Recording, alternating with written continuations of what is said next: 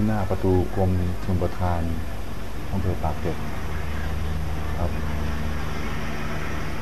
วันจันทร์ที่ 20 มิถุนายน 2554 ผมก็เห็นจากโฆษณาว่าจะมีการจัดนิทรรศการ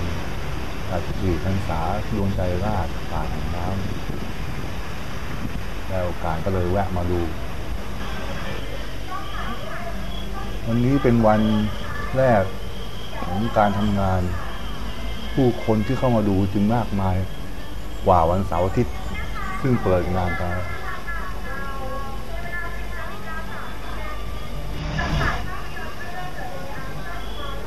งานนี้เริ่มต้นมาตั้งแต่วันเสาร์ที่ 17 มิถุนายน ตั้งแต่เวลา 5 โมงเย็นแล้วครับ สมเด็จพระเทพรัตนราชสุดาท่าน มาเป็นองค์ประธานเปิด แล้วเริ่มต้นจัดแสดงตั้งแต่วันอาทิตย์ที่ 18 มิถุนายน ไปจนถึงวันที่ 23 มิถุนายน 2554 ผมก็เลยเดินตามแถวเข้าไป เพราะว่าข้างหน้านู่นจะเป็นที่จัดแสดง ส่วนทางขวามือนี้ จากประตูทางเข้ามาก็คือ โซนแสดงน้ำพุ แต่ไปตอนเช้า ก็จะไม่ได้สีสันเท่าไหร่หรอกครับ เพราะตรงโซนนี้จะสวยงามกว่าตอนเย็น ส่วนนี้คือส่วนที่เป็นทางเข้า ทางขวามือจะเป็นจุดที่มีเจ้าที่นั่งรอรับลงทะเบียน ส่วนนี้เป็นกลุ่มนักเรียนที่ตั้งแถว เตรียมตัวจะเข้าไปในบริเวณงาน วันจันทร์นี่เด็กนักเรียนเยอะไปหมดครับ นอกจากนี้ก็ยังมีประชาชนที่มาจากจังหวัดต่างๆ เข้ามาดูงานนิทรรศการนี้ด้วยความตื่นเต้น ผมก็เลยแวะมาตรงอนุสาวรีย์ของหม่อมหลวงชูชาติกัมพู อดีตอธิบดีกรมชลประทานท่านหนึ่ง ซึ่งได้รับการยกย่องมาก ว่าเป็นบิดาแห่งชลกร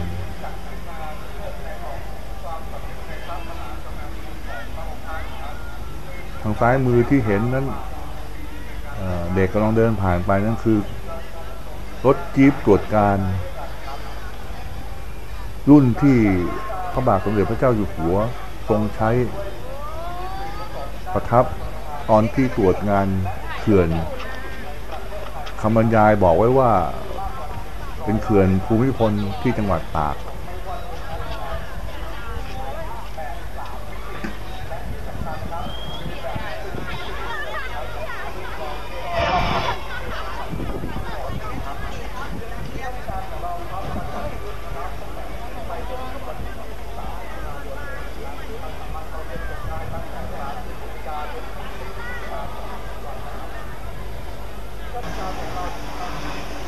นี่เข้ามาในอาคารแสดงภาพการทรงงานของพระบาทสมเด็จพระเจ้าอยู่หัว ด้านหลังของอนุสาวรีย์ของหลวงหลวงชูชาติกัมพูครับ เข้ามาในบริเวณอาคาร ถึงกับอึ้งเพราะกลุ่มผู้เข้าชม ก่อนหน้าผมเข้ามานี้เป็นรุ่นพิเศษจริงๆ เสียงเจ้าที่ ต้องทั้งเตือนทั้งปราม ทั้งห้าม ส่วนผู้เข้าชมรุ่นจิ๋วพิเศษนี่ก็โอ้โหทั้งเสียงเรียก เสียงเตือน เสียงแซวกันเอง มีทั้งถักทั้งดัน กลุ่มผู้ใหญ่ที่เดินตามเข้าไปนี่ ต้องยืนนิ่ง ปล่อยให้กลุ่มเด็กนำไปก่อน ตรงนี้เป็นส่วนที่จัดแสดงอะไรสักอย่างหนึ่งซึ่งผมไม่สามารถเข้าไปได้ เพราะว่ากลุ่มผู้ชมผู้ชมรุ่นนี้ยืนขวางทางเต็มไปหมด ก็เลยเก็บภาพผู้ชมนั่นแหละ มาเป็นที่ระลึกซะเลย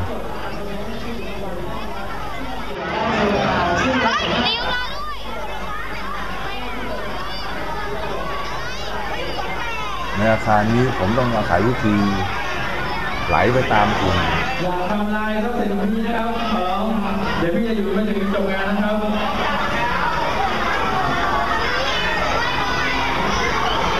อ่าครับผมตอนนี้ที่น้องดูอยู่นะครับเป็น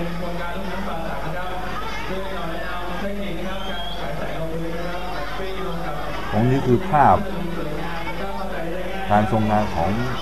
ในหลวงของเรารวมทั้งลายพระหัตถ์ลายพระราชหัตถเลขาบางส่วนที่ท่านทรงร่างให้กับส่วนราชการไปดำเนินการต่อก็มี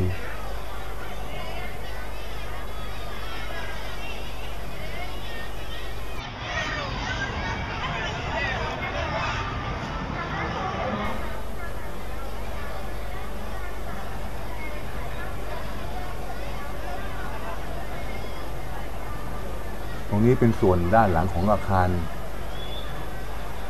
ขวามือนี่ที่เห็นเป็นกระโจมสีขาวนี่ก็คือ ส่วนจัดแสดงภาพยนตร์สี่มิติเพื่อพระเกียรติของพระองค์ท่าน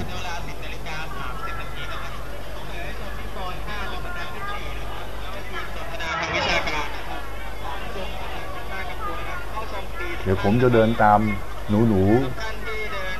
แถวยาวนี้เข้าไปในส่วนที่แสดงนิทรรศการ 109 ปีของกรมชลประทาน ผ่านซุ้มอุโมงค์ที่มีสายน้ำหยดลงมาจากข้างบนเป็นสาย พร้อมกับพัดลมเป่าละอองไอ้น้